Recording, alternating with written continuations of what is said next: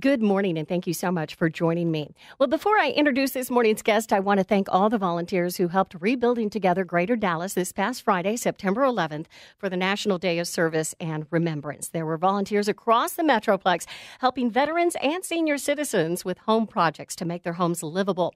We helped out at the home of Mr. James Hurst in Dallas, a veteran of World War II and Korea, and it was an honor to be of service to him. Now, coming up over the next couple of weeks, we have several events that we will be involved with. On Saturday, September 19th, we'll be out at the American Airlines Center for the St. Jude Run Walk to End Childhood Cancer. And then the following Saturday, September 26th, we're going to be at the American Airlines Center once again for the Walk to End Alzheimer's. And if you or someone you know has been affected by pediatric cancer or by Alzheimer's, as my family has been, then we invite you to join us at one or both of these events. Joining me in studio this morning for the first segment of our program, Dr. Diana Kerwin. She is an Alzheimer's Association board member and chief of geriatrics at Texas Health Resources Presbyterian. She is also the founder of Texas Alzheimer's and Memory Disorders. Also in studio, Veronica Shanklin, who I met at last year's Walk to End Alzheimer's in Dallas. Veronica is a caregiver for her mother and her grandmother, both who are suffering from Alzheimer's. Dr. Kerwin, Veronica, welcome to the program. Thank, Thank you. you. Dr. Kerwin, I'm going to start with you. As someone who treats people with Alzheimer's, what is it that you want the general public to know about this disease? The first thing that has struck me since I've been doing this for about 15 years, taking care of, of persons with Alzheimer's disease, making the diagnosis and setting the treatment plan, and then meeting with the patient and the family about every six months to go over the medical side of it, is how often things come up in those in between those six months vis- visits that they didn't go get any help and didn't realize that there's others that are going through this and that you're not always going to know what to do when uh, something arises with Alzheimer's disease. There are some common threads, but there's things that I can't ever predict that might happen that we'll, we'll probably talk about. But the one thing is to reach out to the resources that we have in the community. The Alzheimer's Association is definitely set up to help you on the day and the moment that you need it. There's helplines, there's staff there to help you, and then there's other programs that if you find out about them, it does make it a bit easier for the person affected and for the families too. I was so fortunate when my mom was diagnosed that I already knew about the Alzheimer's Association. I was very familiar with them. So I immediately reached out to the helpline because I needed help navigating this disease or even dealing with my guilt over things of losing patience so that's one thing that i really want people to know is if you receive a diagnosis if someone that you love someone in your family receives that diagnosis of alzheimer's is immediately reach out because the resources are going to be so valuable alz.org is the alzheimer's association website and then you can find a local chapter for you what are the warning signs that, that people should be on the lookout for, Dr. Kerwin, before getting a diagnosis? Well, the majority of the cases of Alzheimer's disease usually occur after age 65. And after age 65, there is some normal slowing of our processing speed. So, not remembering the name of that actor in the movie might take a little while to remember someone's name, but they should still come to you and not interfere with your daily activities that you do. When memory loss starts to affect your ability to take your medications or remember appointments, that's when it's a sign that it needs to be looked into. Not all memory loss is Alzheimer's disease. There are other things that can cause memory loss. So it's important to have a medical evaluation as that initial diagnosis. But also, um, what happens a lot of times, which is one of the biggest challenges with Alzheimer's disease as opposed to other diseases, is the person affected is often the least aware of the changes. They don't realize that they're forgetting because the people around them are kind of going, hmm, mom doesn't realize that we talked about that, or I'll remind her again, but she still doesn't remember that we talked about it. And the people around them usually notice it. So for most of us, actually, when we notice that someone's declining, that's the more common reason that someone makes an appointment is their daughter, their husband, their wife, their good friend said, I think you're losing, you're having some trouble. Let's go see your doctor. Is there a test that will let people know that they are having early onset Alzheimer's or that they have Alzheimer's? So, the first thing is a really thorough examination. There are some memory tests that doctors can do in the office that just kind of give them idea of if you're not scoring quite as well as you should be, but it doesn't really tell them why. That really comes from doing a full evaluation of looking at medications, at blood work, at an imaging of the brain and then doing more extensive testing called neuropsychological testing is really how the diagnosis is made. But most physicians can do what we call screening tests in the office to say, you know, you should be, there seems to be maybe an early problem here. Let's go send you off to somebody or let's do more of an evaluation. Veronica, you're a caregiver not just for your mom who has Alzheimer's, but also your grandmother. When did this journey begin for you? When did you first notice that something wasn't quite right with your mom? The interesting thing is that I was actually living in Chicago when I realized there was a problem, and I was coming home, and my mother was kind of struggling at work on things that she had been able to do in the past. And she was taking care of my grandmother, who had Alzheimer's at the time and, and still has Alzheimer's. They were losing weight, finances around the house, and paying bills, and things like that. I kind of was picking up that something might be wrong. And it kind of all came to a head when my grandmother ended up in the hospital because she had gotten aggressive with my mom and had a seizure.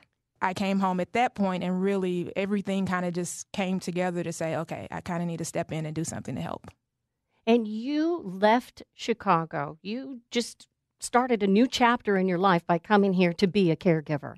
Absolutely, absolutely. And I mean, I'm originally from Dallas, so it was coming home, but it's definitely a lifestyle change. I was a marketing executive in Chicago. I was single, kind of doing my own thing. And now I'm here and I have two people that I'm taking care of. So it's a very different lifestyle, but we're making it work. How has the Alzheimer's Association helped you deal with your mom and your grandmother's diagnosis? The Alzheimer's Association has been great. I actually started off as a volunteer there because I wasn't working. And so I was like, you know, you need to get out the house, you need to do something. So I just walked in one day and said, you know, do y'all need any help? And so started volunteering and started learning more about the disease and started getting resources as far as agencies in the community who are here to help. We go to a caregiver support group that I learned about through the Alzheimer's Association. And that's something that I really recommend to people because when you're around other people who are going through the same thing, you can learn so much. And Dr. Kerwin, as a geriatric specialist and someone who treats people with Alzheimer's, you're not just treating the patient, you're treating the caregiver as well and trying to make yeah. sure that the caregiver takes care of themselves as well as the patient. Absolutely. That's a really good point that I realized early on when I started doing this was that, you know, the, I really had two patients um, in front of me, but it's really a team more. It's it's the three of us are a team, or really the whole family is a team. If something happens to the caregiver, the whole system does fall apart. So it's really important to have those systems in place. And the caregiver, oftentimes in the office, I'm writing prescriptions for the caregivers that do 24 hours a day, seven days a week, and won't take a break. And I say, well, if I were paying you, I wouldn't be able to work you that hard. And I'm not paying you, so I can't work you that hard either. And I'll write prescriptions for them to take a break four hours a week, eight hours a week to go off, get someone just to stay with their loved one so they can go do something and just relax and, and rejuvenate. And the Alzheimer's Association can help with that because if you reach out to the Alzheimer's Association, they have respite care for the caregivers so that someone can come in four or four hours a day or something like that during the week so that you can get away and kind of walk it off, as Absolutely. I like to say. Mm-hmm. Absolutely. What have been the challenges for you as a caregiver? Oh, um, let's see, where do I start? Um, yeah. I think the biggest challenge is you're thrown into caregiving and you know nothing about it. I mean, I don't have any kids. I've never taken care of anyone but myself. So not only are you taking care of someone, but you're taking care of someone with cognitive challenges and how to deal with those and figuring out the best way to communicate.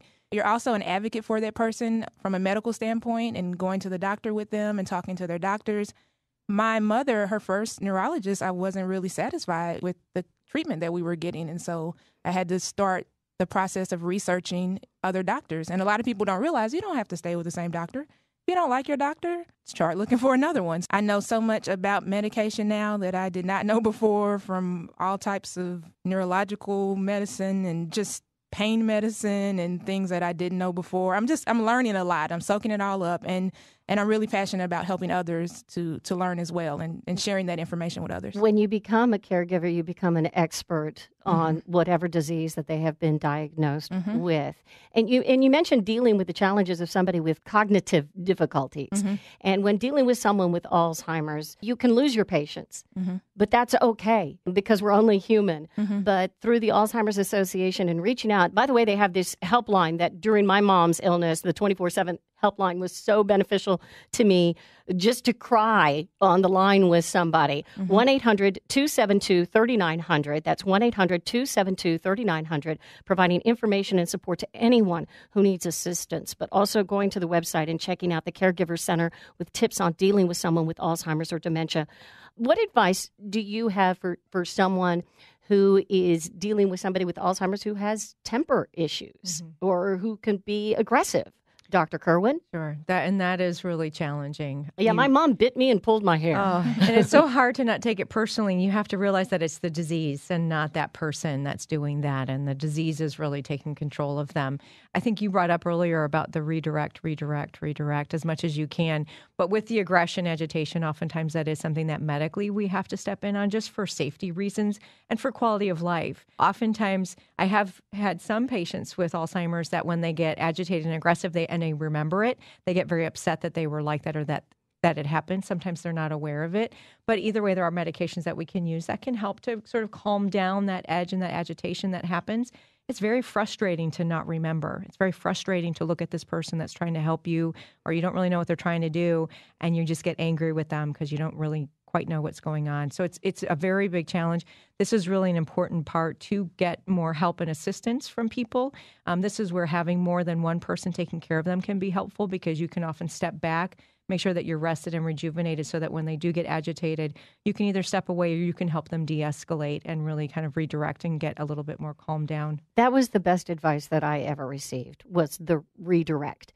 Because with my mom, she could get so agitated because she wanted to to go home to Monterrey, Mexico, and here she was in Dallas with me, and she was like, "I need to go home. I need to go home," and I would redirect her, and, and I would tell her, "Oh, well, we called my grandmother who had passed away already, but we called her, and she was at the supermarket, but we're going to see her tomorrow," and that seemed to calm her down.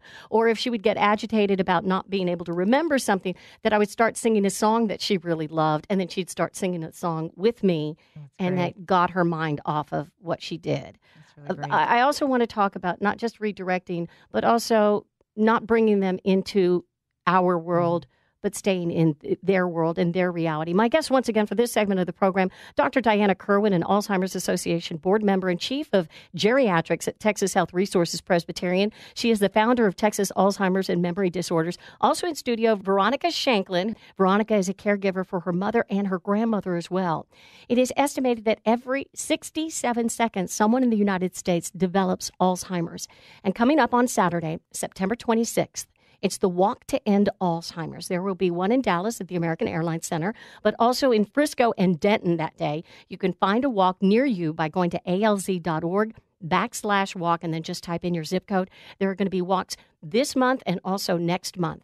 Now, for me, as I mentioned earlier, this is very, very personal because I lost my mom to Alzheimer's. And like Veronica, I was my mother's caregiver before she died. So I know only too well the challenges that caregivers face. But the Alzheimer's Association was there for me, and I know that they can be there for you if you receive that diagnosis. And the reason I want to find a cure is that I don't want to have to go through what my mother went through. And I also don't want other families to have to go through what I and Veronica Shanklin have been through. So let's talk about not bringing someone with Alzheimer's into our world, Dr. Kerwin and Veronica. This is an important point. I know, Veronica, you're going to have a lot to say about this. Um, what I try to tell people, and this is hard, is just like any other disease state, like if you're diabetic, you can't eat sugar. If you're if you have heart failure, you have to exercise and watch your salt intake. With Alzheimer's disease and dementia, you have to accommodate the disease, not try to make the disease accommodate you. And that includes the, our surroundings, safety, and the people around us. Don't try to constantly argue with them and bring them into the point and make them remember that they have Alzheimer's. I have many, many families that come into the office just to have an appointment for me to tell them that they have Alzheimer's disease and make sure they know it before they leave so they remember when they get home. and they're not really quite getting it that we have to adjust to this in order to really keep quality of life for that person and to take care of them with dignity as much as possible. How important was it for you to learn that lesson that you don't bring them into our world, but you go into theirs? I think one thing that I've read and that I keep with me is that you will never win an argument with an Alzheimer's, a person with Alzheimer's. That's very true. So you save yourself a lot of frustration and stress, and you save them a lot of frustration and stress when you remember that and don't get into an argument. So to that point, if they say something that is not necessarily true, as long as it's not hurting anything, as long as it's not a harm to them, it's okay to go along with it. The other day, I was helping my grandmother out the bed, and she was like, You know, you men sure are nice. Okay, I guess I'll be a boy or a man today. And then later, I'm a pretty little girl. So, you know, you just have to, like you said, go into their world. And if it's not hurting anything, then let it go. And staying in the moment, like Right. you did with her. Stay in the moment. At that Mhm. moment, you were you were a boy, but if Mhm. you stay in the moment with them, it can really help you all experience a little bit better. I know Um, as a, as a family, you you learn one day at a time. My sister in law, when my f- mom first started forgetting things, and she thought that her mother was still alive, my sister in law kept telling her, "Oh well, don't you remember your mom died?" And my mom would get so upset, and she'd like, "Well, why didn't anybody tell me?" And I'd go, "Don't do that." Just go into her world and go, oh, yeah, we're going to call her a little later, but she was out or she went to go visit someone, and she was fine with that. Yes. Right. Another thing I remember is this too shall pass. Oh, yes. Oh, yeah. No day will ever be the same. So maybe you had a bad day today, you know, hey, let's try it again tomorrow. And I think kind of keeping that positive attitude helps everyone involved. Let's talk about the upcoming Walk to End Alzheimer's because this is so important for research. And also, I call it the largest support group in North Texas. So, the walk is coming up Saturday, September 26th. There's going to be walks in Dallas, Frisco, and also Denton. You can find out more at alz.org backslash walk. What can someone expect from the walk, Dr. Kerwin? Well, the walk, we've set a high goal. So we need lots of walkers. If you haven't set up a walk team yet, please do so. We're raising money still. You can go on to the website and donate. You can uh, join a walk team or you can form one of your own. We oftentimes see it's it's a, a big mix of mostly family caregivers, but also caregivers from some of the memory care assisted livings and nursing homes in the area. A lot of advocates, just people that have been touched by it, are there. Um, there's lots of great festivities. There's food and music and dancing and fun and camaraderie. Um, there's just a lot of wonderful things. Our goal this year is 1.9 million to raise to go towards research and also to local support services for people that are dealing with Alzheimer's disease here in Texas but also to support research funding for research around the world that's looking for the cures and for the treatments for Alzheimer's disease. And Veronica, you will have a team. Absolutely. What do you want people to know and why it's so important to you? Something that's really important to me and is fundraising and research. I was able to attend the Alzheimer's Advocacy Forum in DC this year. And it's where advocates from all over the country come together and we go to Capitol Hill to talk to our representatives about how important it is to increase funding for Alzheimer's research. And one way to increase funding is this walk and raising funds through this walk. So, yes, I have a team. I am raising funds. I'm excited. It's always a fun day. I highly recommend everyone else get involved. It's it's a and I'm really passionate about this disease because the numbers are just they're crazy. Every crazy. 67 Yeah. seconds. Someone is diagnosed with Alzheimer's disease. And my thing is, you know, in 30 or 40 years, if we don't do something, I mean, half of our population will have Alzheimer's disease, and that's just crazy to me. So I feel like we really need to get on this right now and try to do what we can right now to make sure that doesn't happen in the future. alz.org slash walk. If you want to join the walk, start a team, or if you want to donate and be part of Veronica Shanklin's team. Team Golden Girls. Team. Golden I love it. I love it. And I like that on the website, Dr. Kerwin, alz.org. One of the things that it says is if you have a brain, you are at risk. Yes. Absolutely. Yeah, the, and the risk is for everybody. People that have family history, we know that there's a risk for them, but there's also many cases of people where they don't have a family history, and we haven't determined yet what the what causes Alzheimer's disease in those people. But the numbers are telling us that as you get older, you know, the risk is there with every year uh, over age 65. Women are affected more than men. We are seeing now that women account for about two thirds of all the cases. Is that Which because was- of our hormones? It's possible. There was, you know, we we used to know that women were a slightly increased risk. When I was teaching years ago, we would say, oh, it's about 0.5 greater than men. But now we're finding two thirds of all cases. And so part of it could be a hormone related issue. Part of it is longevity and living longer, but there's some other piece that we don't know. And that's where the research funding and the science really comes in.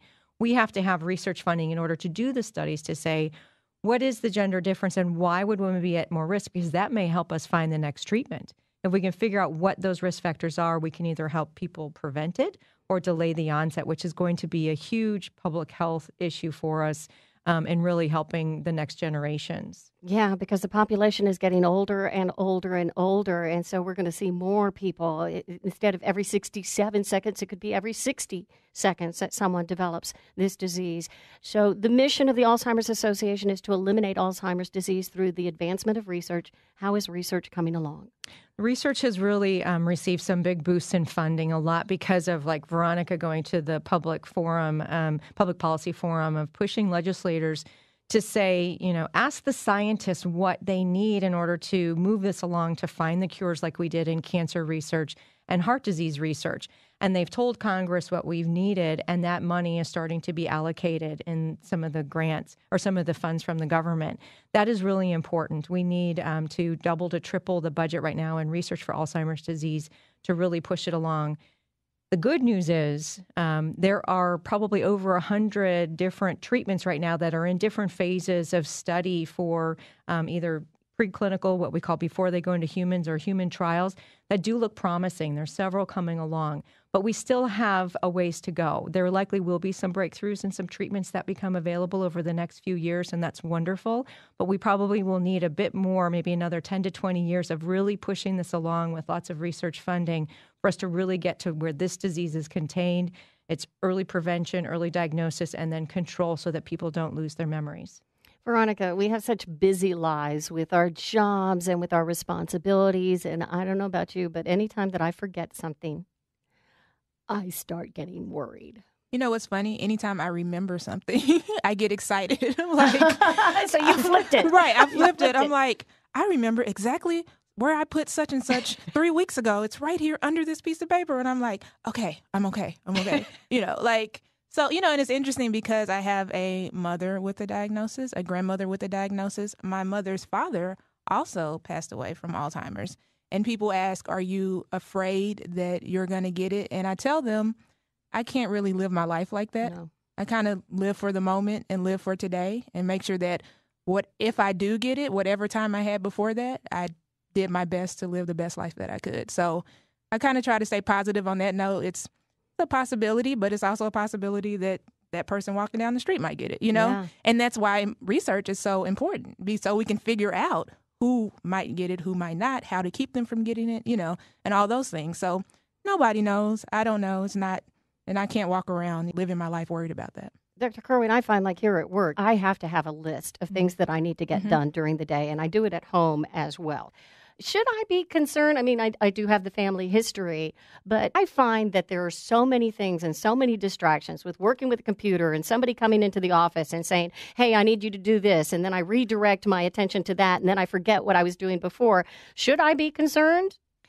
Well, I mean, it would be normal. It's absolutely normal to be concerned, especially when it's in your family. But one of the things that we've been trying to get information out to the public through the Your Brain Matters program, which is one of the new initiatives with Alzheimer's Association, is what can you do to take care of your brain?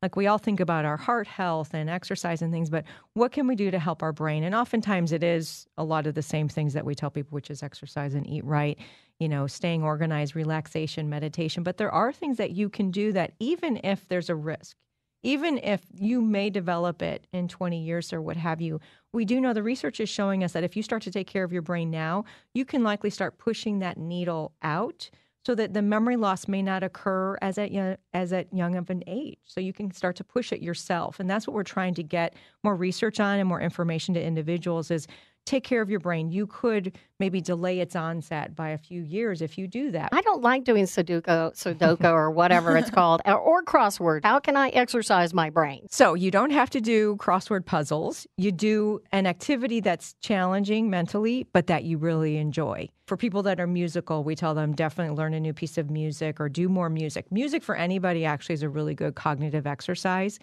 socialization, going out to a new group and meeting people is a very good way to exercise your brain. Make sure you remember everyone's name as you meet them and repeat it. Just kind of do those things that actually that is a mental exercise and it works just as well as a crossword puzzle. We know that people that stay more socially engaged have less of a risk, and it's probably because they do keep their neurons connected just by having that constant interaction, language, um, and basically emotional connection with people. ALZ.org is the website for the Alzheimer's Association. And once again, we invite you all to join us September 26th. That's a Saturday at the American Airlines Center for the Dallas Walk to End Alzheimer's. If you live in Collin County, there's going to be one in Frisco that day. If you live in Denton County, there's going to be one in Denton. And then, of course, there's some other walks here in our area taking place in October. Find out more at alz.org slash walk. We're raising funds so that we can find a cure. It's the Walk to End Alzheimer's. And by all means, if you receive a diagnosis, if somebody that you love receives a diagnosis, reach out to the Alzheimer's Association. As Veronica said, they are a, an amazing support group. The most important message that you want to get across, Veronica. I think something that I that I wanted to touch on that I didn't is early diagnosis. I think one of the the reasons that we are doing okay with my mother is because I got her to a doctor. We got an early diagnosis, and I'm able to put things in place now. Because you paid attention to those signs. Right. I'm able to put things in place now. It's also compassion. I'm, you know, I'm much more compassionate and patient with her because I know she has a problem as opposed to getting frustrated, you know, when you don't know what the problem is. Then I think it's because we have this early diagnosis. So if you think that your loved one might have a problem, I know it's a scary thing to do. I know there's that fear element, but trust me, you're much better off finding out and being able to deal with it now than having something happen and having to be on the defense because you didn't know there was a problem.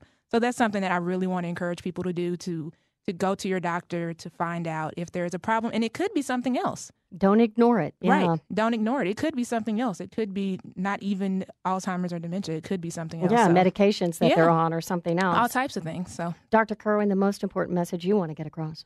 I want to echo what Veronica said is really do um, bring your concerns, talk to your doctor about it. Not all physicians feel comfortable doing memory evaluations or making the diagnosis. It's a tough diagnosis to make and a tough diagnosis to give, but it is important for people to know what is affecting their memory.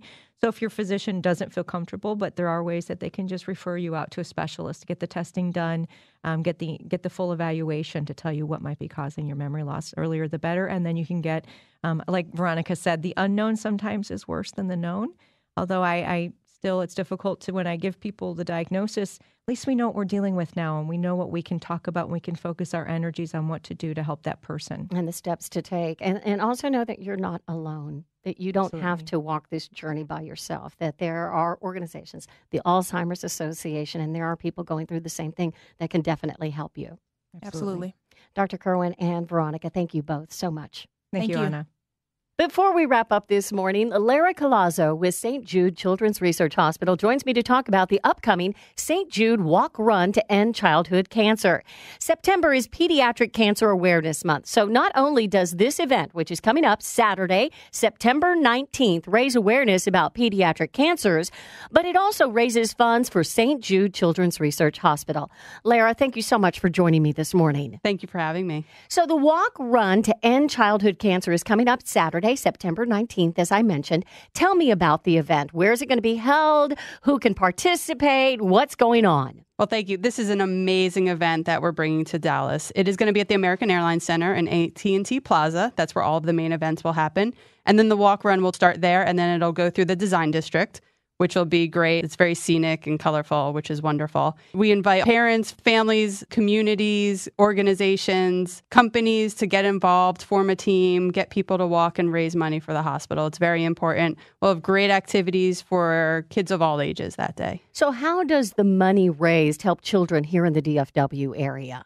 So the money raised supports the families that are sent to St. Jude. No family ever receives a bill from St. Jude for treatment, travel, housing, or food. And that's when a family gets sent from anywhere in the world, not just the DFW area.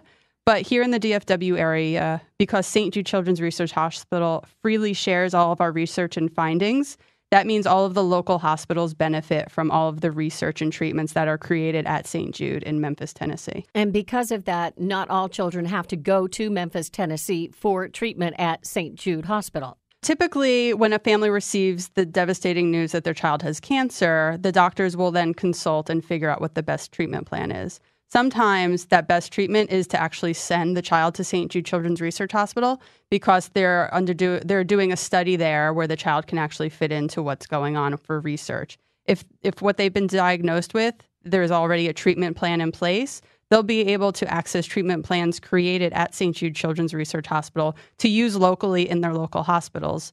And then if there are any issues that the doctors run into, they'll be able to consult back with the doctors at St. Jude in Memphis, Tennessee to figure out a better course of treatment for that child being treated locally. And the fact that by going to St. Jude and the money that you guys raise at events like the upcoming walk run to end childhood cancer, those families don't have to worry about the finances.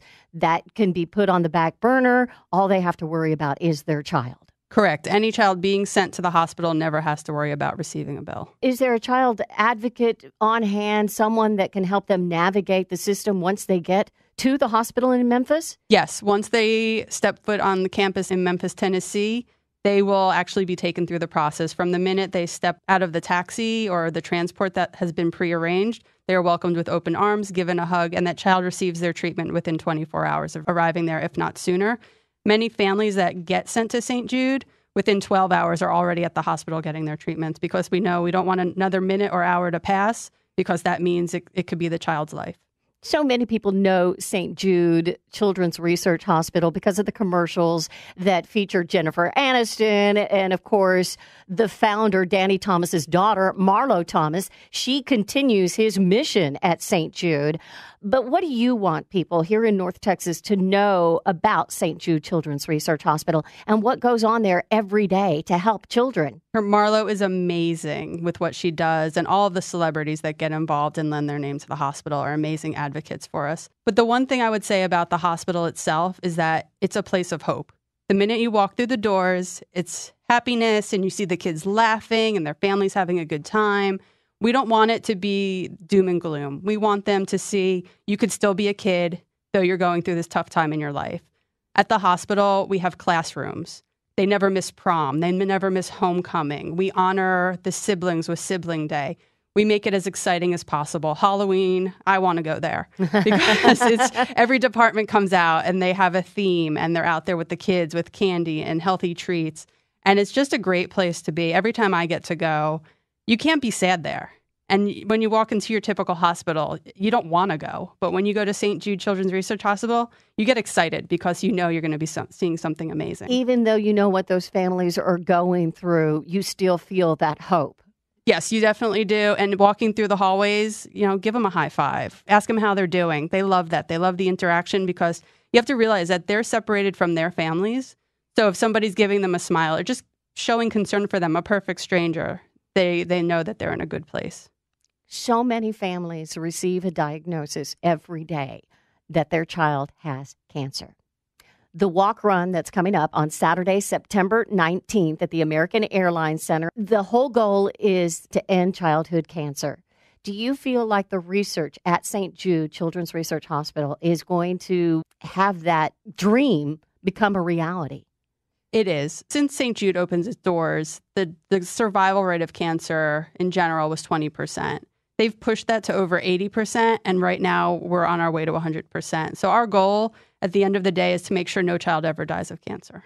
And one thing that a lot of people don't realize is that the research that goes into the pediatric cancers also affects the adult cancers which a lot of the adult cancers we can attribute to either lifestyle or the environment. But with pediatric cancer, we still have no clue what causes pediatric cancer gene mutations, family history, whatever. So that's why research is key.